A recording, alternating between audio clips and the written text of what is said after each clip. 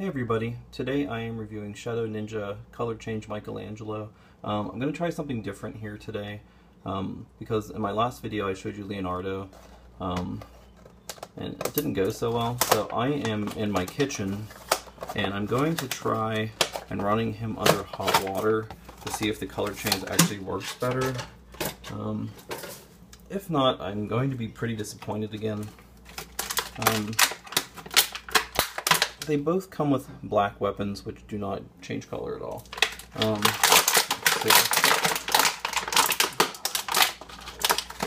show you the figure first. Let's see. So here's Michelangelo. Um, he has the same articulation. He has a wrist, um, elbow, uh, shoulder. His head is on a ball joint. His hip articulation. Um, and he has knee articulation as well. So they're pretty nice figures. Um, they also have the new feet, like I showed on Leonardo. Um, they're pretty much the same exact figures as the original releases of the Turtles, with the different feet being the only difference, really. And then uh, the different plastic and the color change accessory going on. Um, so let me try this out. I'll show you what happens here. Check out my cool shredder shirt. I got that at Niagara Falls. So me run this water for a minute. We'll see what happens. Um, it gets pretty hot. See, yeah, it's working a lot better. Um, I don't know how long you have to run these under the water for.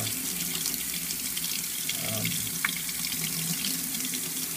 so that the color change really doesn't go away it just kind of um, gets a lot more dull. The color, it's going a lot, going away a lot more than it did on my other video. You can see that there. It was pretty dark when I first took them out of the box. These figures are pretty cool. Um, it's a neat, neat concept. Like I said before in my last video, I do wish that they would have made Donatello and Raphael as well. Um, I know Playmates doesn't think they sell as well, but uh, a lot of people do like those characters. Um, you can see here, um, turn off the water here. As you can see here on the bottom of his foot, it's a bit darker. So you can see it did color change quite a bit. So, um, yeah, he's pretty cool. Uh, I think his color change works a lot better than Leonardo's. It's actually getting pretty dark now, if you look, um, compared to the rest of him. Well, that's about it. Thanks for watching.